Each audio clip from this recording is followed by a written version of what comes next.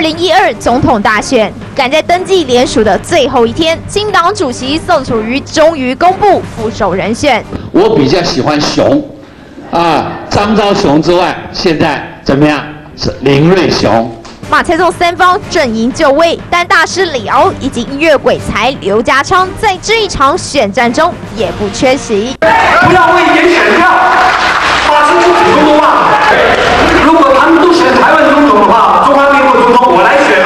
鬼才导演刘家昌不满马蔡没有喊出选中华民国总统，表态参选为的就是一口气。九月十五号或者二十号，哎，我极可能交了一百万。带来我的副总统来登记，我防宋楚瑜退选。不约而同放话，李敖大师全力相挺宋楚瑜，就怕宋楚瑜参选决心没有坚持到底。一位是文坛大哥大，一位是影歌双栖鬼才。对于马宋有哪些南辕北辙的看法？对于二零一二战局又有哪些惊人批判？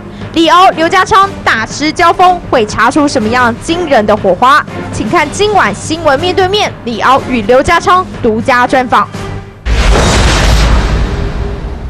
你好，欢迎您收看新闻面对面，我是谢仲，我是古怀轩。就在今天九月二十号，是是中选会呢。如果你不是有政党推荐，然后你要参选总统的话，最后一天那去联署登记的这最后一天呢，宋楚瑜终于出现了。嗯，千呼万唤始出来，大家都看到副手人选跟着一起出现了。嗯，所以现在还说我喜欢熊，嗯，所以大家林瑞雄先生。OK，林瑞雄是谁？现在全国大概都在问这件事，林瑞雄是谁？宋楚瑜这次找的搭档呢，是一个在工位界的大佬，但在政坛呢，今天民进党就有人直接跳出来说，你千万不要当误入政治丛林的小白兔，因为在政界来讲，基本上林瑞雄就是个 nobody，他的知名度可能还没有今天在场我们邀请到的这些特别来宾在政坛的知名度来的高。但是宋楚瑜为什么要挑他？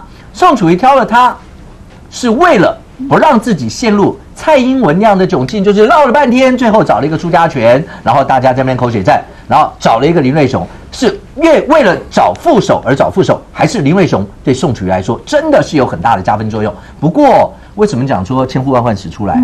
后一句也有道理，犹抱琵琶半遮面，因为林瑞雄说连署没有一百万，他可不会参选的。嗯，意思就是说到最后那个局会不会成还不知道。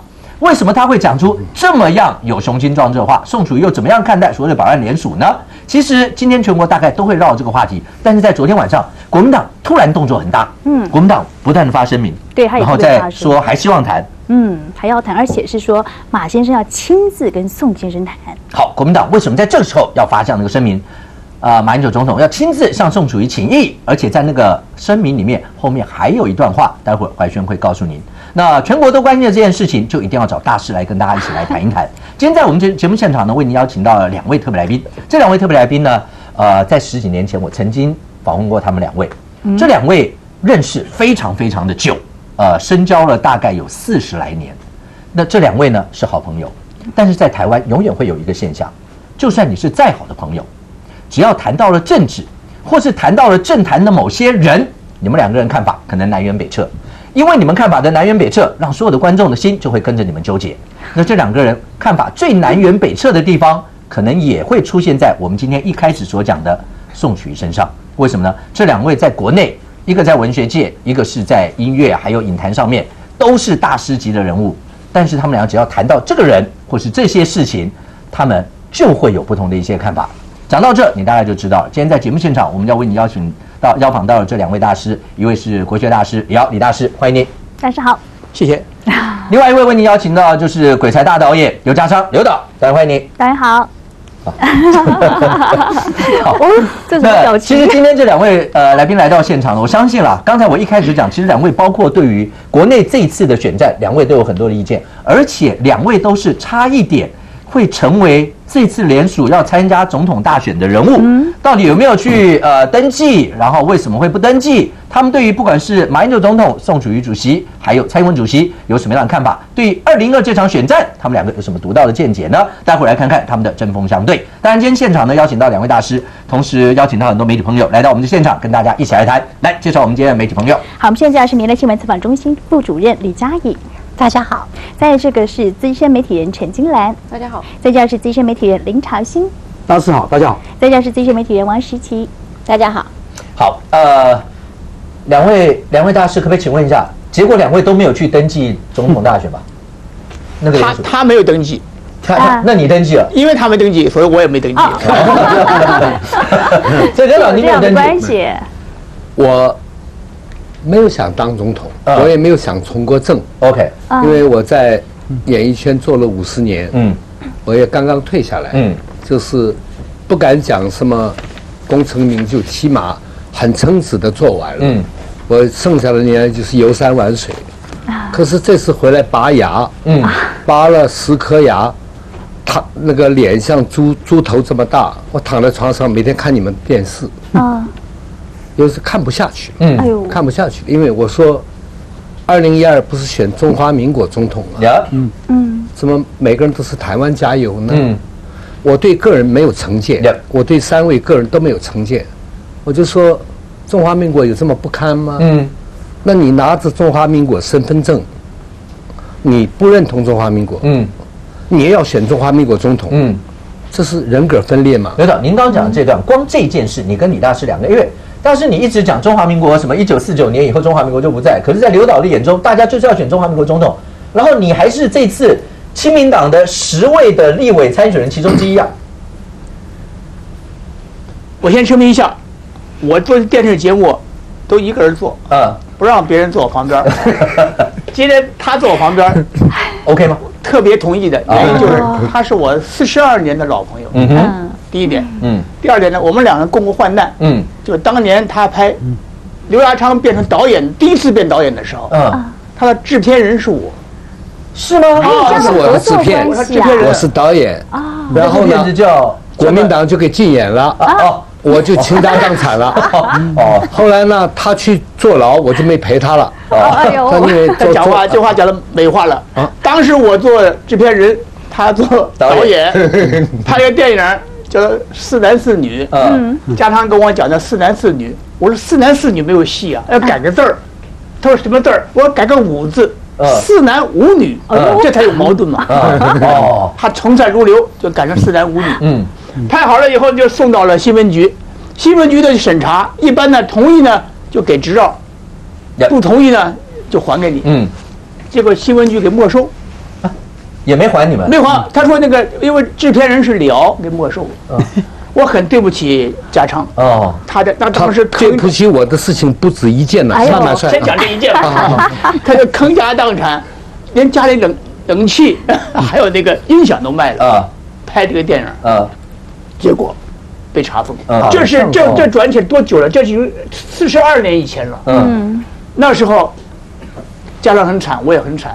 后来我就坐牢了，这个刘家昌就投向了国民党，你知道吧？就开始梅花了，梅花什么什么全来了啊！中华民国送了啊！从他的一帆风顺，一帆风顺，直到今天。啊，刘导。让我投降国民党，投降我讲，我是韩国华侨。嗯。嗯。韩国是很排外的，嗯，这在韩国，他叫我们，呃，叫中国人是中国奴啊，中国奴，哦，中国奴隶的奴，所以我对一直对国家有一个向往，呀，非常向往，因为你们没有做过华侨，不晓得。那回到台湾来，嗯，这我就是认认定了中华民国，因为大陆不能去那个时候，嗯，就认定中华民国是我的国家，呀，所以后来写梅花呀，写。中华民国颂这些歌，你们再仔细看一下，我的歌词里面，梅花是巍巍的大中华。嗯，我的中华民国颂也是青海的草原，喜马拉雅山。嗯，我自己是中国种，我是中国人，我一直没有忘记过。